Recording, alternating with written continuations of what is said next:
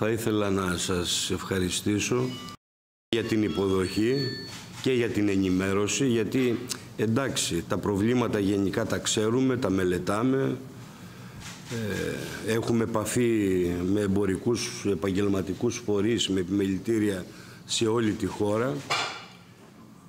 Έχουμε κάνει παρεμβάσεις, είπα και στην αρχή ορισμένα πράγματα, είπε και ο Θανάσης ο Τζίμας ε, μετά στη συνέχεια διάφορα πιο συγκεκριμένα ζητήματα.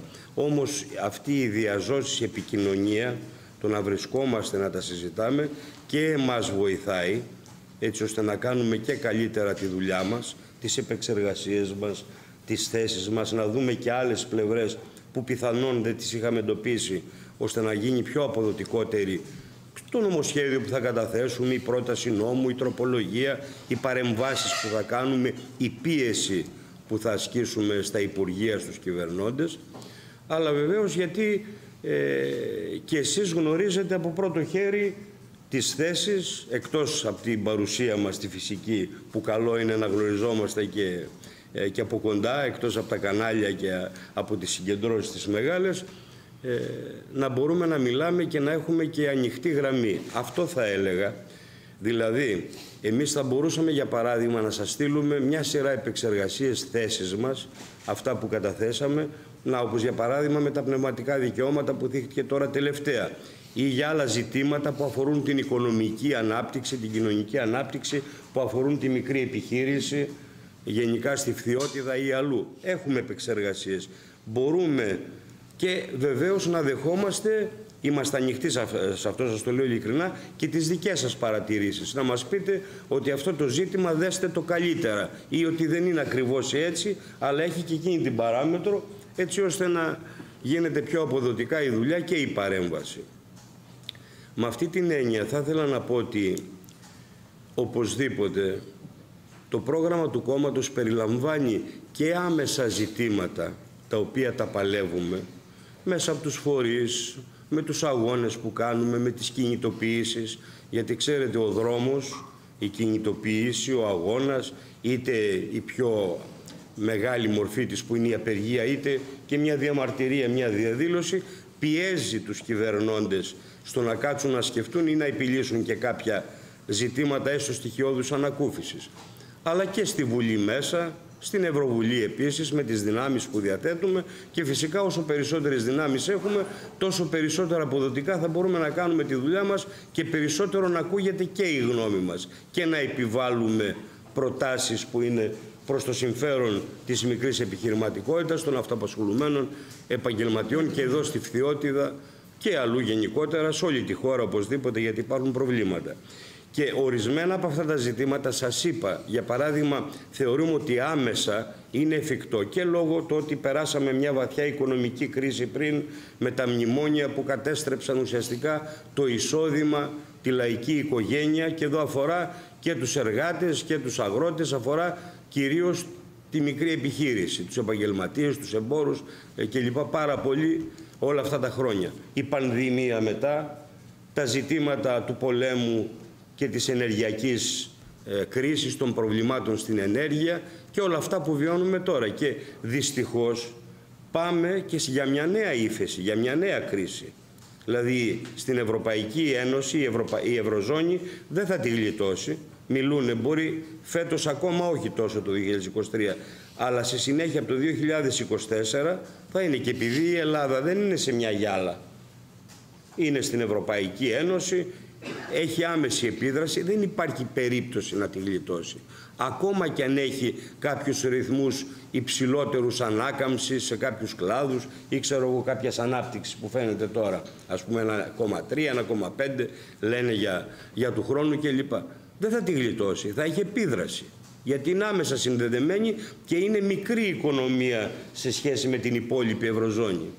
Άρα, εδώ είναι ανοιχτά αυτά τα ζητήματα. Άρα είναι άμεσα εφικτά και ρεαλιστικά στοιχειοδός να ανακουφιστούν, δεν λύνουν το πρόβλημα, το ξαναλέω οριστικά, όμως αυτό το ζήτημα της επαναφοράς του αφορολόγητου για παράδειγμα, το ζήτημα το ότι πρέπει να ρυθμιστούν, να καταργηθούν στην ουσία τα χρέη στις τράπεζες, στην εφορία για τους μικρούς ε, επιχειρηματίες, για τη μικρή επιχείρηση, τους αυτοπασχολούμενους που έχουν την οικογένεια, που έχουν λίγο προσωπικό. Τα ζητήματα του να υπάρχει κατάργηση του ΦΠΑ στα είδη πλαστιατιάς λαϊκής κατανάλωσης. Τα ζητήματα της απαλλαγής από τις ασφαλιστικές εισφορές για τους μικρούς επαγγελματίες. Αυτά είναι κρίσιμα και άμεσα ζητήματα. Και αυτά θα τα παλέψουμε και μέσα στη Βουλή και με τους αγώνες, γιατί είναι και ζήτημα διεκδίκησης. Εμείς λέμε και το εξής ζήτημα, ότι επειδή ακριβώς ο επαγγελματίας εξαρτάται από το υπόλοιπο κοινωνικό περιβάλλον, δηλαδή εξαρτάται από τον εργάτη που είναι στον ιδιωτικό, στο δημόσιο τομέα, από τον αγρότη, αυτός πάει και αγοράζει, από, την, από τις οικογένειες. Πρωταρχικά και κύρια. Εξαρτάται βέβαια και από το μονοπόλιο, γιατί του δίνει δουλειά φασών, κάποιες κατηγορίες, ιδιαίτερα σε ορισμένους κλάδους, ή δεν ξέρω τι εξαρτάται και από αυτό, αλλά το μονοπόλιο τον έχει για να τον εκμεταλλεύεται. Ενώ ο άλλος του αφήνει ε, χρήμα στο μαγαζί, θα το αφήσει, ε, θα κάνει τη δουλειά, θα μπορεί να έχει ένα στοιχειώδες εισόδημα. Γιατί το μονοπόλιο που θα το αναλάβει δουλειά σε κάποιον θα του θέλει και την τράπεζα, θα του θέλει να πάρει και χρηματοδότηση από εκεί. Μπορεί να μιλήσει βέβαια σε κάποιο τραπεζίτη και να του πει να τα δώσει, αλλά πάλι θα τον έχει στην ουσία υποχείριο, υποέλεγχο. Θα πρέπει να του κάνει τη δουλειά αυτή και άμα κλείσει ή άμα αποφασίσει ο μεγαλομέτωχος να αλλάξει κλάδο λόγω της ανταγωνιστικότητας ή για το ποσοστό κέρδους δεν είναι τέτοιο και πάει αλλού, τον κλείνει και αυτόν και του δίνει μια κλωτσά και πάει από εκεί που, που ήρθε. Άρα λοιπόν αυτά τα ζητήματα εμείς πιστεύουμε για να υπάρχει αλληλεγγύη, για να υπάρχει συμπαράσταση, πρέπει να υπάρχει ενότητα, συμμαχία όλων των εργαζομένων. Δηλαδή, να σας το πω αλλιώς, το ότι κλείνει η Λάρκο για παράδειγμα και χίλιοι τόσοι άνθρωποι εκεί οι οποίοι πηγαίναν και αφήναν και στο καφενείο, αφήναν και στο, στο μαγαζί, στο μπακάλικο, αφήναν και στον ένα, πηγαίναν και ε, στην ταβέρνα που έχουν σταματήσει αυτά, λέω για κάποιες και σε άλλα, σε άλλους τομείς που φτιάχναν το σπίτι τους, πηγαίναν στον ξυλοργό, πηγαίναν στον πλακά και δούλευε έτσι η μικρή επιχείρηση, τελειώνει μια μεγάλη περιοχή της Λοκρίδας. Αντίστοιχα τα παραδείγματα που είπατε, Τσιπίτα, Σούλης, το ένα, το κι άλλα. Τώρα μην τα πούμε τόσα είναι, τα ξέρουμε τόσα χρόνια. Άρα αυτό το θέμα της ανάπτυξης που είναι το μεγάλο ζήτημα που είναι στο πρόγραμμα αυτό που λέμε εμείς, γιατί κοιτάξτε να δείτε, εδώ ας πούμε η Φθιώτιδα έχει πάρα πολλούς πόρους, λέω παραγωγικές δυνατότητες, οικονομικούς πόρους που είναι αναξιοποιητοί. Ας πούμε το θέμα της ενέργειας, της ακρίβειας, των ανατιμήσεων, όλα αυτά και της ενεργειακής φτώχειας που έχει ο κόσμος, ας πούμε, δεν έχουμε. Γιατί είναι ενεργειακή φτώχεια να μην μπορείς να βάζεις επειδή είναι ακριβό το, το καλοριφέρ να το ανάψεις ή δεν ξέρω ε, το ρεύμα ή να προσέχεις πόσο νερό θα καταναλώσεις κλπ. Είναι σοβαρό πρόβλημα αυτό. Είναι ενεργειακή φτώχεια. Και πάλι παρότι το περιορίζεις, ε, σου έρχεται ο λογαριασμός και τρελαίνεσαι το να πληρώσεις. Το ίδιο και το μαγαζί που έχεις κλπ. Αλλά η ενεργειακή φτώχεια δεν πρόκυψε από τον πόλεμο που έκανε ο Πούτιν στην Ουκρανία και που κάνει και τώρα. Έτσι για να εξηγούμαστε. Χειροτέρεψε βέβαια την κατάσταση, την έφερε πιο γρήγορα το πρόβλημα της ενέργειας, το έφερε οπωσδήποτε. Ο πόλεμος όμως είχε ξεκινήσει από πριν, διότι το οικονομικό σχέδιο δεν ήταν αυτό που έπρεπε. Δηλαδή όταν καταργείς εσύ το λιγνίτη που είναι ο ρηκτός πλούτος της χώρας που σου δίνει ενέργεια και μπορεί να σου δώσει και φτηνή ενέργεια, γιατί η ακριβή ενέργεια στο λιγνίτη, ο, ο ακριβώς λιγνίτης, προέκυψε από το ότι η Ευρωπαϊκή Ένωση και η ελληνική κυβέρνηση εδώ είπε πάμε στην πράσινη μετάβαση, πάμε μόνο στις ΑΠΕ, πάμε εκεί, πάμε σε αυτά, άρα λοιπόν έχουμε εμπόριο ρήπων, πληρώνει, υποτίθεται είναι ρήπος, δημιουργεί ρήπους ο λιγνίτης, πληρώνει στο λιγνίτη και πάει λέγοντας. Και μετά όταν ήρθε η αύξηση του φυσικού αερίου, λόγω του πολέμου και λοιπά και των προβλημάτων στην ενέργεια, λοιπόν έγινε, εκτινάχθηκε το φυσικό αέριο και έγινε φτηνός ο λιγνίτης. Και άντε μετά βουρ, κλείσαμε τόσα, τόσους σταθμούς στην Πτολεμάιδα, άντε να τους ξανανοίξουμε πάλι λοιπόν για να μπορέσει να λειτουργήσει και να δώσει ενέργεια. Άρα λοιπόν τι γραμμή, τι θέση, τι πρόγραμμα έχεις ως κράτος και τι κεντρικό επιστημονικό σχέδιο έχεις για τον τομέα της οικονομίας, για παράδειγμα, σε αυτό που λέγεται ο ρηκτός πλούτος, όπως ο λιγνίτης και τον αξιοποιείς για να έχει ενέργεια, είναι κρίσιμο ζήτημα.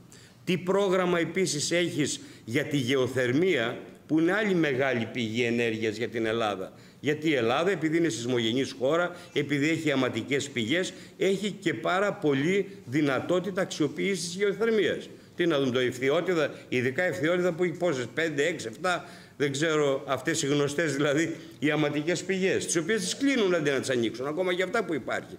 Αντί να τις δώσουν ας πούμε σε, ε, να υπάρχει δυνατότητα με το κράτος, γιατί τα δίνεις σε ένα μικρό ιδιώτη κάποια, λοιπόν ο οποίος τα πουλάει, δεν τον συμφέρει και λοιπά και τελειώνει η ιστορία. Ή και σε ένα μεγάλο επενδυτή, όπως λέω θα τα δώσει για να τα ξεπουλήσει. Αλλά όμως εδώ χρειάζεται αυτά να είναι κοινωνικά Αυτά είναι κοινωνική ιδιοκτησία. Γιατί μόνο το κράτος με ένα κεντρικό σχέδιο μπορεί να ελέγξει και να ρυθμίσει τα ζητήματα αυτά. Ή οι ανανεώσιμες πηγές ενέργειας. Πολλοί λένε μα είστε κατά της πράσινης ανάπτυξης. Μα δεν είμαστε κατά των ανανεώσιμων πηγών ενέργειας. Ως για τόσο μυαλό έχουμε. Ξέρουμε ότι η Ελλάδα και ήλιο έχει και μπορεί να αξιοποιήσει τα φωτοβολταϊκά και ανέμους έχει και μπορεί να αξιοποιήσει ε, τις ανεμογεννήτριες αλλά το που θα κάνεις στα αιωλικά πάρκα, με τι σχέδιο, αυτό είναι που δεν υπάρχει. Γιατί αφήνεις τον τάδε μεγάλο ιδιώτη, την τάδε μεγάλη πολυεθνική, πολυεθνική όπου γουστάρει, όπου τον συμφέρει για να έχει μικρότερο κόστος και πάει και στείνει. Δεν πανάνε δάσος που μπορεί να το αξιοποιήσει για χιλιάδιο άλλα πράγματα. Δεν παρενάνε, ξέρω εγώ, θάλασσα κλπ. κλπ. Και του λες κάνε αυτό. Και άμα δεν γουστάρει ή άμα δεν έχει, όχι δεν γουστάρει, κυρίως άμα δεν έχει κέρδη αρκετά σε λίγα χρόνια, να τον δεις όπως έγινε, έγινε σε άλλες χώρες, να σηκωθεί και να φύγει. Και να αφήσει ας πούμε αυτά τα εκεί στην ερημιά, στα βουνά, να υπάρχουν τα τσιμέντα. Τέλος πάντων, είναι ολόκληρη συζήτηση, δεν τελειώνουμε αυτή. Έχουμε προτάσεις για αυτά.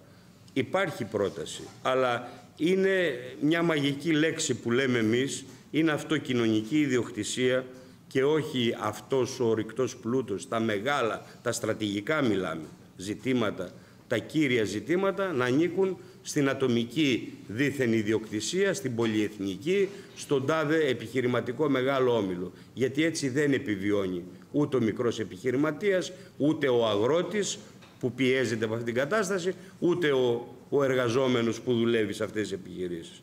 Και βεβαίως πρέπει να φύγουν από τη λογική, γιατί ξέρετε, σας θεωρούν μειονέκτημα τη μικρή, τον αυτοαπασχολούμενο, τη μικρή επιχείρηση, τη θεωρούν μειονέκτημα για την Ελλάδα. Και αυτό το θεωρεί δυστυχώς και η Ευρωπαϊκή Ένωση και οι ελληνικές κυβερνήσεις και τάσσονται με το μεγάλο κεφάλαιο. Δυστυχώς αυτή είναι η κατάσταση.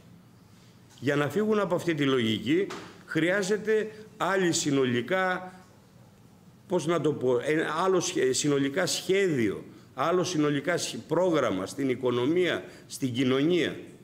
Εμείς η πρόταση του κόμματος εξασφαλίζει στους μικρούς επιχειρηματίες, στους αυτοπασχολούμενους, αν κληθούμε να κυβερνήσουμε κάποια ε, στιγμή, ε, με το λαό βεβαίως στην εξουσία όπως λέμε εμείς, να συμμετέχει, να ελέγχει ε, και λοιπά, εξασφαλίζει να έχει σταθερή εργασία ο μικρός επαγγελματίας, να έχει αξιοπρεπές εισόδημα ώστε να μπορεί να ζήσει την οικογένειά του, να έχει ταυτόχρονα δωρεάν υγεία, περίθαλψη, πρόνοια, παιδεία, όπως και ο υπόλοιπος λαός για να μπορεί να λειτουργεί αυτό το σύστημα.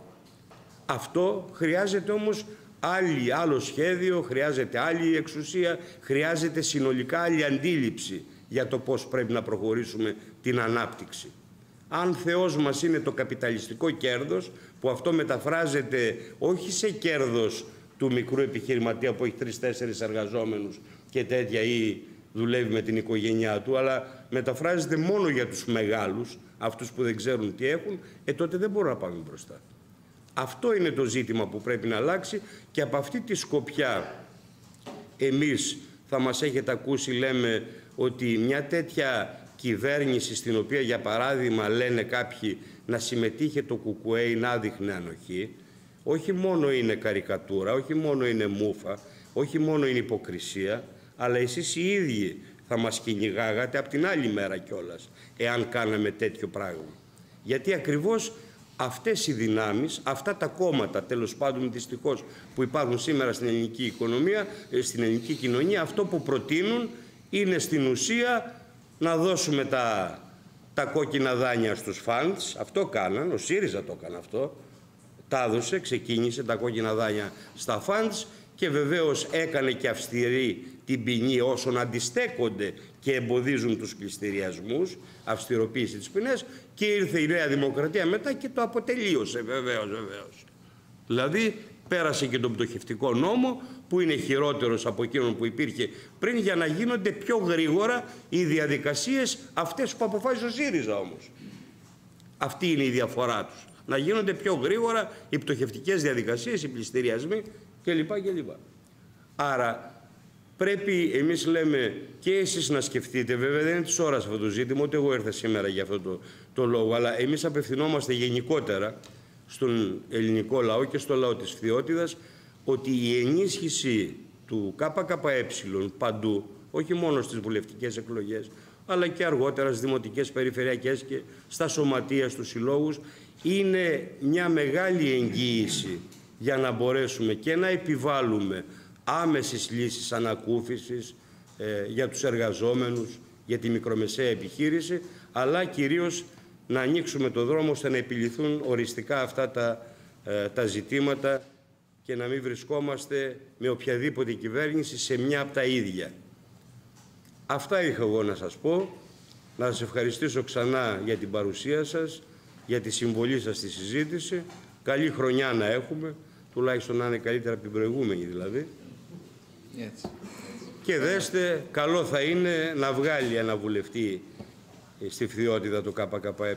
Για το καλό του νομού θα είναι και του λαού μας.